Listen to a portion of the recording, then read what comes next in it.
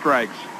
There at 145 pounds made things thrilling for the people here in Veterans Auditorium where we're about to go to 152. And here we're going to change levels again. We're going to 1A from now through 189 and start with Bruce Kuenen of Jackson Junction, Turkey Valley against undefeated Brian Schmitz, 37 and zip from Lisbon. And the double A match will be Decorah's Ryan Kittleson against Glenwood's Jeff Jens, champion Glenwood team. These are both undefeated wrestlers at double A. And at triple A, West Des Moines Valley's Kurt Bennethum, undefeated against Des Moines Roosevelt's Robert Edmonds. All right, let's get on that number 1A match here. Bruce Kuenen against Brian Schmitz of Lisbon. And Schmitz gets the first takedown to take a two to nothing lead. Schmitz has been a real solid performer, the only undefeated wrestler on the Lisbon team. His name sounds familiar, but the, the town doesn't. He placed for Waco of Olds last year. Now wrestling for Lisbon, undefeated. Very solid performer. 37 and 0, and his team has the state championship locked up now in 1A. And he has a cradle locked up personally. underneath. But he's not going to be able to do anything with it, and uh, official John Monroe of Indianola calls him away from it. Okay, Green. Play, son. Also, this is icing on the cake for Lisbon because they're one point ahead, but Clarksville does not have another wrestler, so they have won the state championship, and now they'd like to win it with two state champions. But Kuenen is going to have something to say about that. Kuenen with a record of 27 3 and 1 this year for J Jackson Junction, Turkey Valley. That's Schmitz in the black. Kuenen in the red uniform. Schmitz leads two to nothing. Schmitz is still considered in control. There was no escape given in that situation. Coach Smith says this is Schmitz's favorite position on top. He's a legger, he arms, he uh, uh, arm bars, he likes to tilt. He really likes to be on top. You see him uh, control with the spiral ride right here. Now he puts the leg in. This is the 152-pound class. Cross face.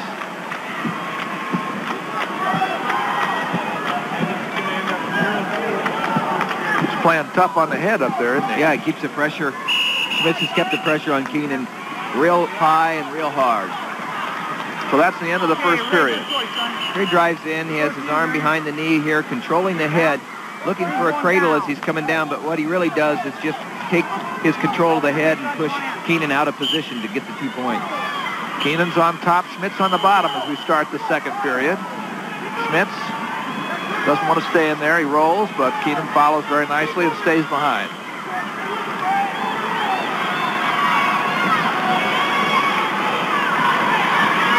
Now a simple stand-up, but they're out of bounds. So Schmitz is still not away. Bruce Kuenen, Jackson Junction of Turkey Valley in Northeast Iowa. Slower stand-up this time by Schmitz. He's going to work on the hands first. That's one thing. You're never going to get away if you don't clear the hands. And more and more young wrestlers are learning it. More and more coaches are making sure that that's the first thing they teach from underneath. It's just not going to happen if you don't have the hands.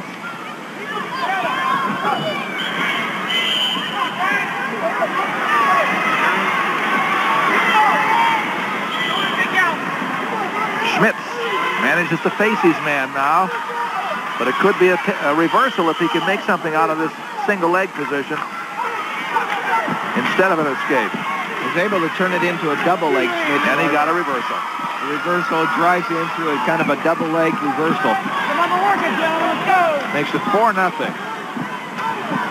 Schmitz in the second period with 45 seconds to go. Brian Schmitz, a undefeated wrestler for a, what's going to be a state championship team. Lisbon, they have locked up first place here in the 1A division. Ryan Kittleson from Decorah is leading Jeff Jens from Glenwood on the double A mat 1-0 with eight seconds left in the second period. Green stalling right here.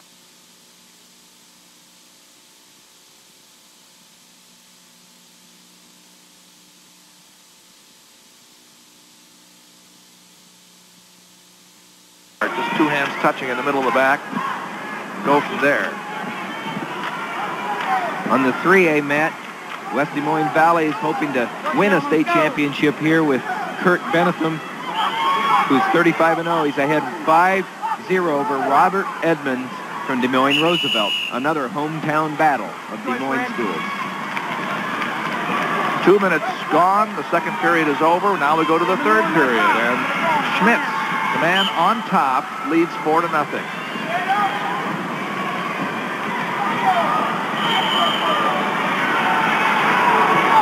Kuenen hasn't been able to get away from him yet. Schmitz with the leg in. Using the power half up on top. Gonna make something out of it there. He's got a strong half here if he can just pry it a little bit harder. But Kuenen's doing a nice job of getting himself into a stalemate there. Kuenen is a different physical type than Schmitz. He's a tall and rangy. He's had a fine year. 27-3, one draw. Kuenen's road to the finals was a 9-2 decision, a fall in a minute 50, and an 8-3 decision in the semifinals. Whereas Schmitz came through with a 12 to 1 major decision, a fall in 3 minutes and 12 seconds, and another fall, a real fast one, in 129 in the semifinals. A minute 20 to go. Schmitz leads 4 nothing, and Kuenen's been able to do nothing with him here. He hasn't been able to get away at all. Brian Schmitz's win in the semis, that fall was over Jeremy Fierks from, from Clarksville. I think that match had a lot to say. Yes, it did. That was a matchup between the two contending teams. Schmitz just lost a point because he was penalized for stalling, makes it 4 to 1. They were both warned, but it was a point. Now it's 4 to 2 as Kuenen comes out, and we have a match here with 55 seconds to go. We've seen it several times already tonight. The match isn't over. Takedown for Schmitz makes it 6 to 2. Work son. 40 seconds to go. Stalemate, gentlemen, you start. Brian Schmitz of Lisbon leading Bruce Kuenen of Jackson Junction. 6-2. Half a minute to go.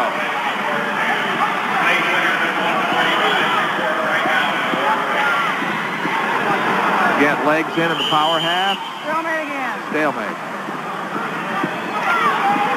With seven seconds left on the double A mat, it's one to one. Both wrestlers are on their feet.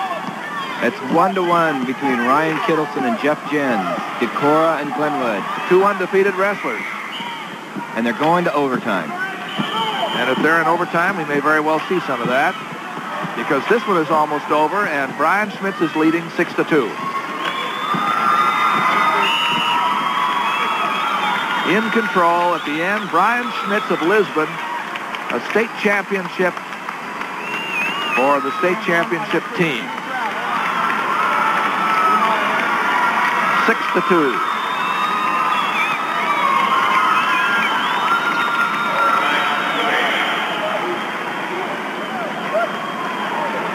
Now let's go to overtime. We'll go to that double A match between Kittleson and Jens. This is our first chance to see Glenwood wrestlers. Escapes was the name of the game over there. One escape in the second period. One escape in the third period sets up the overtime. So it's one to one. Kittleson and Jens. Both juniors, both undefeated. This is double A. Out in the middle of the mat, waiting for his man to come to him is Ryan Kittleson Decorah in the blue. He had one draw this year. That was the only blemish on his record. And out comes Jeff Jens of Glenwood in the black. He went 34 and nothing before tonight. They've settled nothing. These are an overtime three one-minute periods. Makes us start examining the criteria again because they were both 1-1. Number of escapes is even.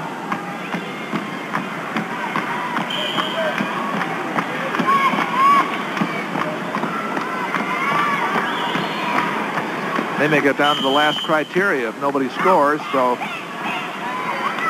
the official, Mark Bean of Iowa City, brings him back to the middle. And from what I understand, there's been no warnings for stalling and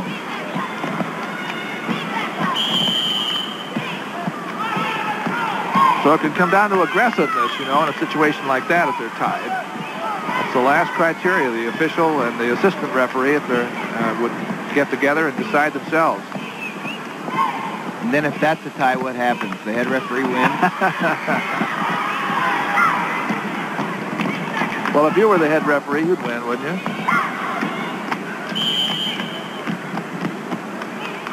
Mark Beans doing a, a, fine job of refereeing for a number of years now. Head referee there. Of course, his father, Clyde Bean, Iowa City High.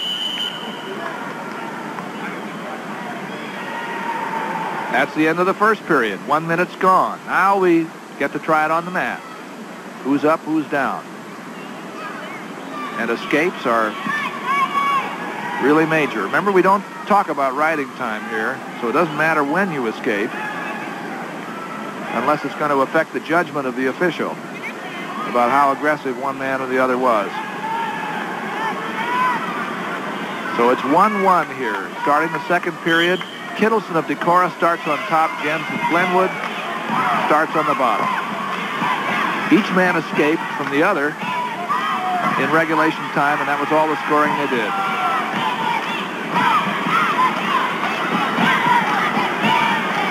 Kittleson's putting a lot of pressure, pushing forward and looking possibly for the suck back on Jens. Kittleson in the blue from Decorah on top over Jens from Glenwood. But Kittleson's doing a good job, and he's used up about half of this minute.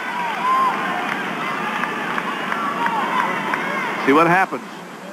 Who reacts off the whistle can be everything.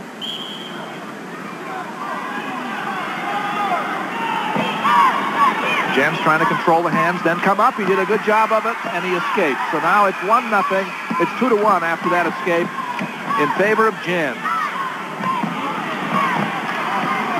Well, you really want to see one of the boys win. You want to see it done on the mat. You don't want to have to put it in the hands of the officials for everybody's sake.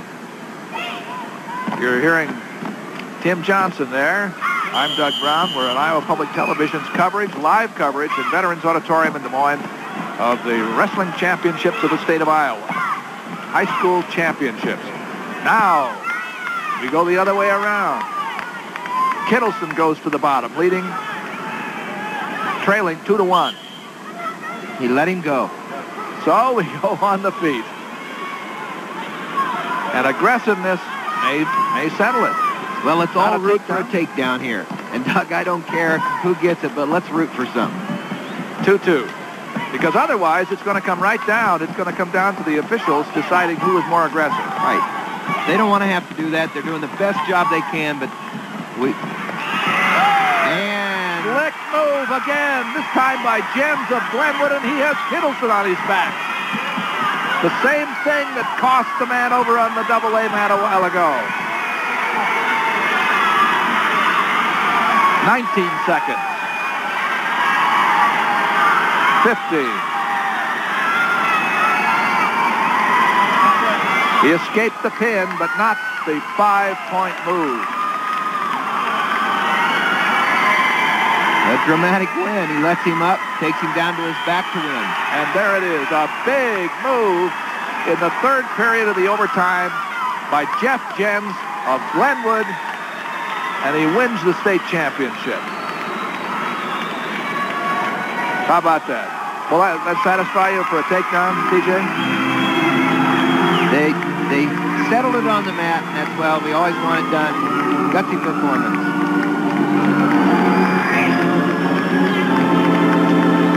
Jeff Jens. A very... All right, Dean, your state champion at 152 pounds was Kurt Bennethum of West Des Moines Valley.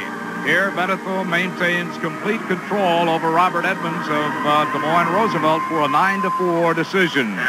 And now Dean Borg going to guess. And a happy guest, too. He's Coach Brad Smith of Lisbon, who's just won another championship, it appears, for that eastern Iowa town. Uh, congratulations, Brad. It looked like Clarksville was nipping at your heels this year. Yeah, um, all season long, and, and during this tournament, they were right on us, and uh, it just made us wrestle that much harder, Well, and it brought the had best more out of the people kids. alive than you did. Yeah, they had three wrestling back this, uh, this afternoon. We had two. They had two in the finals. We had two. It was just it was just staying after it and just and doing the things that we've worked on all year long. Just a real quick question here as we go back to Doug. Do you like the changes here in the weights? I do. I mean, for this, for our team this year, it was really, it didn't hinder us at all.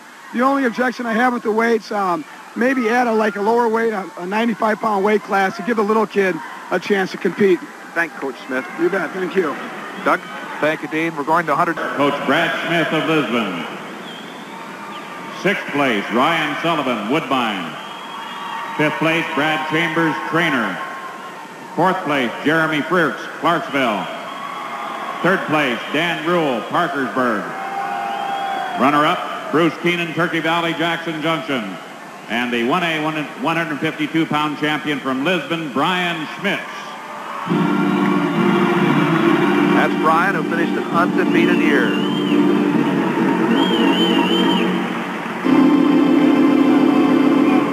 Undefeated year for Schmitz and the state championship Lisbon team managed to put it away tonight in a tough battle with Clarksville. Now 152 pounds. Presenting the Class 2A 152-pound awards, Coach Bob Dyer of Glenwood. Sixth place, John Robinson, New Hampton. Fifth place, Todd Clausen, St. Ansgar. Fourth place, Brad Wilson, Marion. Third place, Shannon McLaughlin, Norwalk. Runner-up, Ryan Kittleson, Decorah. And the 2A 152-pound champion from Glenwood, Jeff Jens. And he made a big move to win his championship, go undefeated.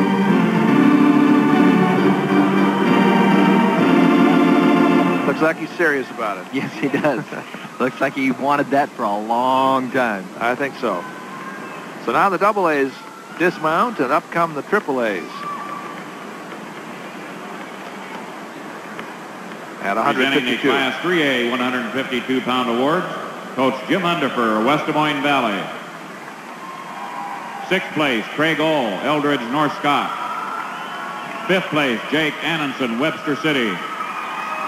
Fourth place, Chad Beeman, Lewis Central Council Bluffs. Third place, Rob Bleakley, Cedar Rapids Prairie. Runner-up, Robert Edmonds, Des Moines Roosevelt. And the Class 3A 152-pound champion from West Des Moines Valley, Kurt Bennethum. Undefeated year for Kurt Bennethum of West Des Moines Valley and a championship. Let's go to Dean Borg.